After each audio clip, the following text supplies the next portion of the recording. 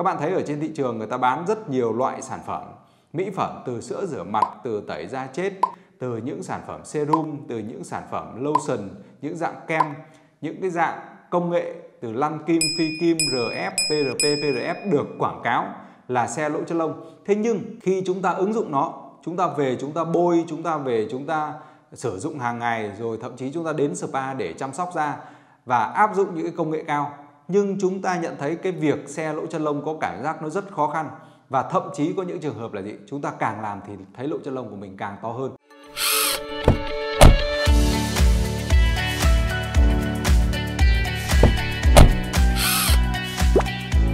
Xin chào các bạn, hôm nay chúng ta sẽ bắt đầu nói chuyện về chủ đề lỗ chân lông. Lỗ chân lông là một cái thứ mà có thể nói rằng nó quyết định rất nhiều đến cái vấn đề sắc diện ở trên da mặt của chúng ta có đẹp hay không có mịn màng hay không à, có thô cạch hay không thì nó quyết định ở cái vấn đề lỗ chân lông. Và nếu như lỗ chân lông to là một cái vấn đề mà các bạn đang quan tâm thì đây chính là cái video mà các bạn cần phải dành ra 15 phút để nghe thật là kỹ. Thực tế thì vấn đề lỗ chân lông to ấy, thì không cần phải nói nhiều nữa thì tất cả các bạn cũng có thể hiểu được rằng lỗ chân lông to là một cái ám ảnh đối với rất nhiều chị em. Bởi vì với một cái da mặt mà có hiện tượng lỗ chân lông to thì cảm giác rất là thô cạch có cảm giác rất là không được nữ tính. Và đặc biệt là tiền sử trước đây chúng ta đã từng bị mụn nữa, thì gần như chúng ta rất mất tự tin trong cái việc giao tiếp. Và khi mà người ta người khác đứng sát lại mình, thì có cảm giác chúng ta mặc cảm với cái làn da của chính mình. Mặc dù có thể các bạn đã make up, mặc dù các bạn có thể là đã trang điểm. Tuy nhiên thì làm sao làm sao để mà khắc phục được vấn đề lỗ chân lông to thì đây lại không phải là vấn đề đơn giản các bạn thấy ở trên thị trường người ta bán rất nhiều loại sản phẩm mỹ phẩm từ sữa rửa mặt, từ tẩy da chết, từ những sản phẩm serum, từ những sản phẩm lotion, những dạng kem, những cái dạng công nghệ từ lăn kim, phi kim, RF, PRP, PRF được quảng cáo là xe lỗ chân lông. Thế nhưng khi chúng ta ứng dụng nó, chúng ta về chúng ta bôi, chúng ta về chúng ta sử dụng hàng ngày rồi thậm chí chúng ta đến spa để chăm sóc da và áp dụng những cái công nghệ cao nhưng chúng ta nhận thấy cái việc xe lỗ chân lông có cảm giác nó rất khó khăn. Và thậm chí có những trường hợp là gì? Chúng ta càng làm thì thấy lỗ chân lông của mình càng to hơn. Vậy thì các bạn phải hiểu được rằng là cái việc lỗ chân lông chúng ta to ấy, không phải đơn thuần là nó tự nhiên nó to ra. Chắc chắn nó phải có một cái tác nhân nào đó tác động đến nó thì nó mới có thể to ra được. Thì thông thường lỗ chân lông to nó sẽ có bốn nguyên nhân ở trong những chương trình hỏi đáp gia liễu thì mình cũng đã nói tương đối kỹ về những cái việc này rồi. Tuy nhiên thì video này mình sẽ nói rõ ràng hơn để cho tất cả các bạn có thể hiểu được cái bản chất và từng cái tình huống khác nhau thì các bạn có những cái cách xử lý. Cái nguyên nhân thứ nhất là lỗ chân lông to do cái sợi lông của chúng ta to.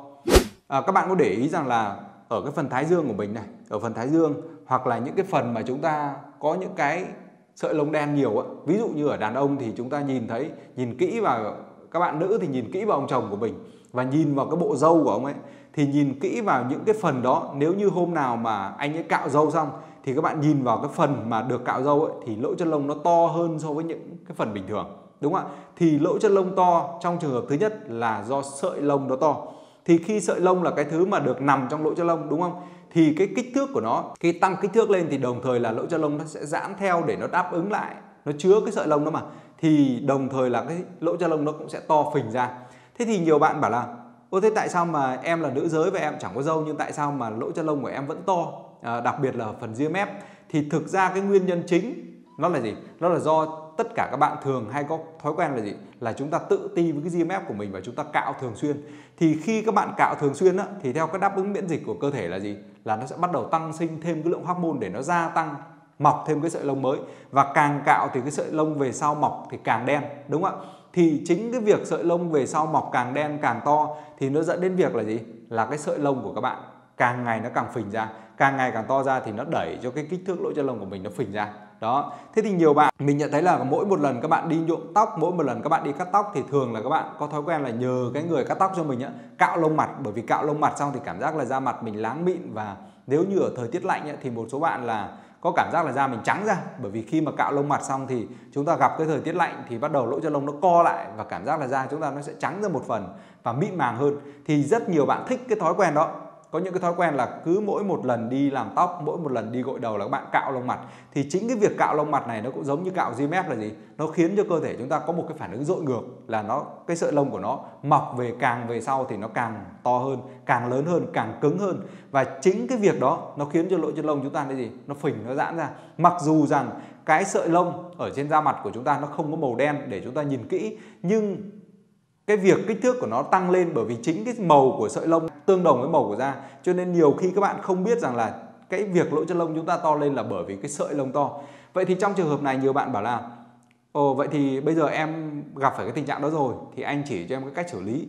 Thì rất nhiều bạn sẽ có một cái biện pháp là gì? Các bạn sẽ đi wax tức là đi triệt lông. Thế nhưng mà khi mà các bạn đi triệt lông á, thì các bạn không hiểu rằng là cái việc triệt lông nó không có đơn giản như chúng ta nghĩ những cái công nghệ triệt lông thì hầu hết người ta sẽ sử dụng một cái dạng ánh sáng ví dụ như ánh sáng IPL có giải bước sóng là từ 400 đến 1200 nanomet hoặc là sử dụng cái laser diode đúng không ạ? Thì những cái dạng laser này hoặc là những cái dạng ánh sáng này nó sẽ có một cái đặc tính là nó hấp thu màu. Và những cái dạng sợi lông đen á, thì nó sẽ bắt đầu nó hấp thu cái màu của sợi lông đen và nó đốt đi. Tức là những cái dạng ánh sáng này nó có đặc tính là nó gặp cái gì màu đen nó sẽ đốt. Và cái sợi lông của chúng ta màu đen nó cũng sẽ đốt thì khi các bạn triệt lông ở bikini các bạn triệt lông ở chân ở tay ở body thì chúng ta thấy nó rất hiệu quả bởi vì cái sợi lông ở tại body của mình là nó là màu đen. Lông ở bikini là màu đen hoặc là triệt ở những cái vùng tóc thì nó là màu đen. Thì khi sử dụng những cái dạng ánh sáng này có hiệu quả rất là cao. Thế nhưng mà khi mà triệt lên lông mặt á, thì các bạn thấy là da mặt của mình nó bị bỏng cả đi. Thế nhưng mà cái sợi lông thì không đứt bởi vì sao? Cái lý do đơn giản là cái sợi lông ở da mặt của chúng ta như mình nói là gì? Nó không phải màu đen. Trong khi cái ánh sáng hay là những cái dạng laser này thì thường là nó gì? Nó hấp thu cái màu đen, chứ nó không hấp thu những cái màu vàng. Cho nên nó không phân biệt được đâu là sợi lông, đâu là sợi tóc, đâu là phần da của mình. Và nó chỉ biết là nó phát ra một cái mức năng lượng như vậy và nó bắt đầu nó triệt những cái thứ nó gặp phải. Thì thông thường á, nó sẽ không thấy cái màu đen đúng không ạ? Thì nó chỉ phát ra một cái lượng nhiệt thôi và cái nhiệt đó nó làm tổn thương cái da. Nhưng sợi lông thì lại không được triệt đi. Đó. Vậy thì sợi lông, các bạn nhớ là sợi lông càng đen thì triệt càng dễ và sợi lông càng vàng thì triệt càng khó. Và cái lông mặt chúng ta nó lại còn màu trắng nữa thì cái khả năng triệt của nó rất là thấp. Thế nên trong trường hợp này, nếu như muốn triệt lông ở trên da mặt của mình mà cái sợi lông của mình là màu vàng thì thông thường chúng ta sẽ sử dụng một cái dạng laser được gọi là laser sung dài. Tức là một cái dạng laser có bước sóng là 1064 thế nhưng với cái mức năng lượng sung của nó ấy, thì nó mới đủ để gì? Để triệt đi những cái sợi lông vàng và nó không phải là hấp thu cái ánh sáng màu đen. Rồi đấy là trường hợp thứ nhất. Thì các bạn thấy rằng là cái việc lỗ chân lông chúng ta to là bởi vì cái sợi lông to thì rất lưu ý trong việc là gì? Chúng ta sẽ không có cạo lông mặt quá nhiều và nếu như chót lỡ cạo lông mặt rồi khiến cho lỗ chân lông to rồi thì buộc chúng ta phải đi triệt lông. Nhưng triệt lông ở đây chúng ta sẽ sử dụng cái công nghệ laser sung dài. Cái nguyên nhân thứ hai mà dẫn đến cái tình trạng lỗ chân lông to đó là bởi vì cái dị vật ở dưới lỗ chân lông mà chúng ta không biết. Cái dị vật ở đây thì là một cái từ chung mà nói về những cái dạng tạp chất nó dính ở vào lỗ chân lông chúng ta. Nhưng mà thông thường á thì các bạn thấy là những cái người mà make up nhiều trang điểm nhiều sử dụng kem chống nắng nhiều sử dụng những dạng BB CC hoặc là DD hoặc là sử dụng phấn phủ kem nền nhiều thì các bạn nhận thấy là lỗ chân lông của họ rất là to đúng không ạ? Thì thông thường á, cái lỗ chân lông to này nó không phải là do sợi lông to hay do một cái lý do gì cả? Mà bởi vì những cái dạng kết tủa do những cái dị vật ở trong các kem make up này và chủ yếu nó là những cái dạng oxit kim loại. Bởi vì cái titanium dioxide á, là một cái chất quen thuộc người ta sử dụng những cái bột này người ta hòa vào trong những cái dạng kem make up để tạo ra lớp giả da đúng không ạ? Và những cái dạng này nó vừa có đặc tính chống nắng nhưng đồng thời nó vừa có đặc tính là make up trên bề mặt da của mình. Và những cái dạng oxit kim loại này khi sử dụng với nồng độ cao á bởi vì trong những dạng kem make up thì cái nồng độ của oxit kim loại này sử dụng khá là nhiều. Bột kẽm, bột titan, thậm chí là có những cái dạng kẻ mắt thì có cả bột sắt nữa. Thì những cái dạng bột này bắt đầu nó lắng xuống lỗ chân lông của mình và nó gây ra hiện tượng là kết tủa gì đó. Và thông thường khi mà chúng ta sử dụng mỹ phẩm á, thì những cái dòng mỹ phẩm make up nó lại còn có thêm một chất nữa đó là chì đúng không ạ? Bởi vì chì nó giúp cho cái hoạt chất make up này nó bám ở trên da của mình tốt hơn. Thì những cái kim loại đó các bạn thấy là có titan có kẽm có sắt có chì mà nó cứ lắng xuống lỗ chân lông như vậy thì lâu ngày dần dần dần dần nó gây ra gì? Là da chúng ta nó có một cái lỗ chân lông to và nó phình ra. Thì to ở đây không phải là do lỗ chân lông to do sợi lông nữa mà to ở đây là do gì? Do có những cái dị vật. Thì thông thường thông thường cái lời khuyên của chúng ta là gì? Là mỗi một ngày khi chúng ta trang điểm về, chúng ta make up về thì chúng ta nên sử dụng những cái dạng tẩy trang chuyên biệt. Ví dụ như chúng ta make up nhiều thì sử dụng sáp, chúng ta make up trung bình thôi, sử dụng chống nắng thôi thì các bạn sử dụng dầu tẩy trang nếu như các bạn không make up mà chúng ta đi bụi bẩn ở ngoài về bởi vì bụi bẩn thì bản chất nó cũng là một cái dạng gì? Cũng là một dạng dị vật, nó cũng bám ở dưới đó. Thì chúng ta sử dụng cái nước tẩy trang để chúng ta làm sạch thật là kỹ nó đi. Sau đó chúng ta lại dùng sữa rửa mặt để rửa sạch đi toàn bộ cái lượng dầu, cái lượng nước tẩy trang ở trên da mặt của mình nữa. Thì cái việc làm sạch, nói chung tóm lại là cái việc làm sạch của chúng ta ở đây phải rất là kỹ càng và hàng tuần thì các bạn nên sử dụng từ 1 cho đến 2 lần cái việc tẩy tế bào chết. Và đặc biệt là tẩy tế bào chết dạng hóa học thì nó có axit salicylic, nó làm sạch cái lỗ chân lông của mình. Thì dần dần dần dần cái lỗ chân lông của các bạn nó sẽ xe lại, đúng không ạ? Vậy thì cái trường hợp thứ hai là gì? Là lỗ chân lông to do những cái dị vật, do những cái mỹ phẩm, do những cái kem trang điểm, do những cái sản phẩm make up và do cái xăng xe khói bụi ở ngoài môi trường nó lắng xuống lỗ chân lông của chúng ta mà mắt thường chúng ta không nhìn thấy thì buộc là các bạn cần phải gì? Cần phải tẩy trang thật là kỹ, tẩy tế bào chết thường xuyên và làm sạch da thật là kỹ thì dần dần lỗ chân lông các bạn sẽ xe lại. Trường hợp thứ ba, lỗ chân lông to là do chúng ta có những cái sẹo đáy nhọn, nhưng chúng ta cứ nghĩ nó là lỗ chân lông. Và đây là cái tình huống có thể nói rằng là 70% 80% những người đã từng bị mụn và các bạn điều trị lỗ chân lông to. Đây chính là cái thứ các bạn đang mắc phải bởi vì uh, hôm vừa rồi thì mình có gặp một người em trong gia đình của mình. Thì bạn ấy có nói rằng là uh, anh ơi em uh, em muốn là anh điều trị cho em cái lỗ chân lông to này bởi vì là em bị dai dẳng đến 10 năm nay rồi nhưng mà em không tài nào mà em bôi cái gì nữa không hết được. Thì mình nhìn kỹ vào da của bạn ấy thì mình bảo là em đi tẩy trang đi sau đó thì anh nhìn kỹ vào da của em. Thì khi bạn ấy tẩy trang hết cái lớp trang điểm của bạn đi thì mình nhìn kỹ vào thì mình thấy là có đến phải đến vài trăm tất nhiên là chẳng ai đếm được cả nhưng mà mình phải đếm đến vài trăm cái lỗ chân lông của bạn đấy rất là to và nhìn kỹ vào thì đó chính là những cái sẹo đáy nhọn. Và khách hàng của mình thì đến thăm khám cũng rất nhiều tình trạng tương tự như vậy. Và mình nói là đây là cái lý do tại sao em điều trị mãi không khỏi bởi vì đây là sẹo đáy nhọn chứ không phải là lỗ chân lông to. Thì mình có hỏi là trước đây em từng bị mụn trứng cá rất là nhiều đúng không? Thì bạn bảo là ôi ngày xưa em là chúa của mụn và mặt trước đây là gì? Như một cái nghĩa địa. À, khi bạn nói đùa như vậy nhưng mà mình hiểu rằng là tiền sử là trước đây đã từng một thời gian rất dài bị mụn trứng cá. Và khi bị mụn trứng cá dài hạn dài ngày như vậy á, thì nó dẫn đến việc là da chúng ta nó sẽ hình thành đến những cái sẹo đáy nhọn. Mà thông thường những cái sẹo này nó có những cái đường kính của đáy sẹo rất là nhỏ nó chỉ bằng một que tăm thôi. Thì chúng ta cứ nghĩ rằng là lỗ chân lông to. Và các bạn mua rất nhiều những cái dạng serum mua rất nhiều dạng hoạt chất. Các bạn dùng PRP, PRF để lăn kim, phi kim trên bề mặt da nhưng không có tác dụng. Và cái bạn nữ mà mình vừa nói các bạn là em trong gia đình của mình á thì bạn ấy đã từng tốn đến gần 100 triệu cho những cái công nghệ trẻ hóa da ở tại spa, nhưng mà không có hiệu quả.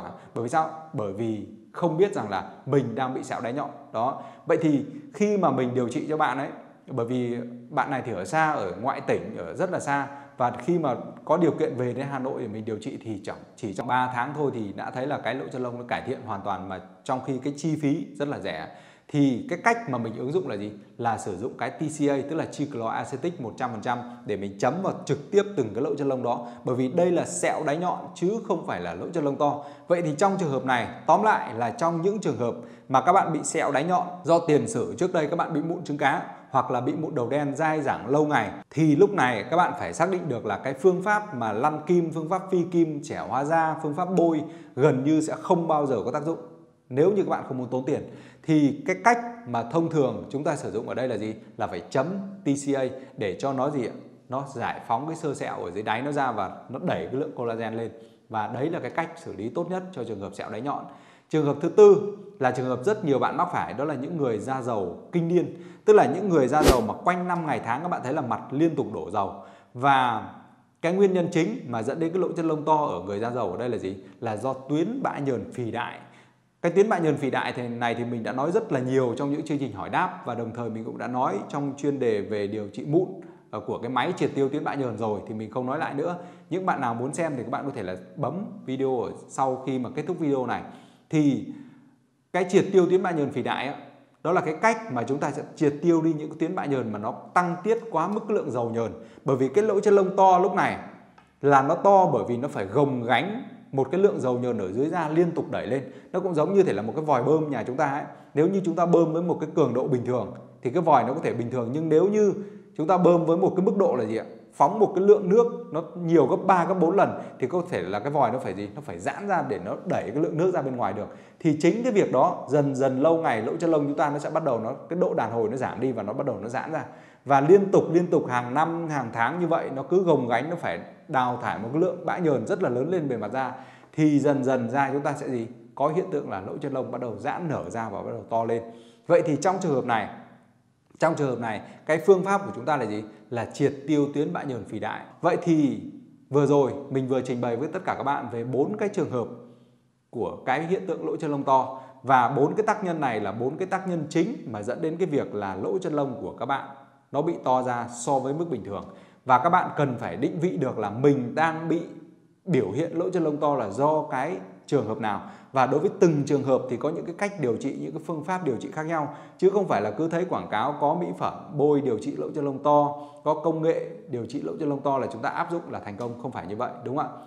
Rồi, vậy thì kết thúc video ở đây thì mình rất mong tất cả các bạn sẽ có những cái comment về những cái chủ đề mà các bạn quan tâm trong những chuyên đề của buổi tới để mình có thể làm thêm nhiều video nữa để phục vụ cho tất cả cộng đồng có những kiến thức về chăm sóc da ở tại nhà. Hẹn gặp lại tất cả các bạn trong những chuyên đề buổi tiếp theo. Nếu các bạn thấy video hay và ý nghĩa, đừng quên ủng hộ Face bằng cách nhấn like, subscribe và nút chuông ngay bên cạnh để trở thành thành viên của kênh các bạn nhé.